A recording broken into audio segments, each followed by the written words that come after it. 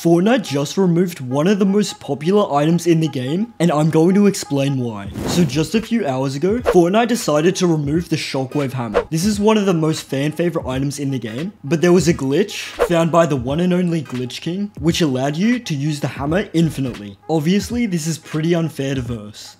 Fortunately, the Shockwave Hammer will return in next week's update, so don't stress, it's not gone forever. Are you sad that the Shockwave Hammer's been vaulted? Let me know in the comments. Use code Wolfyz so I can feed my dog.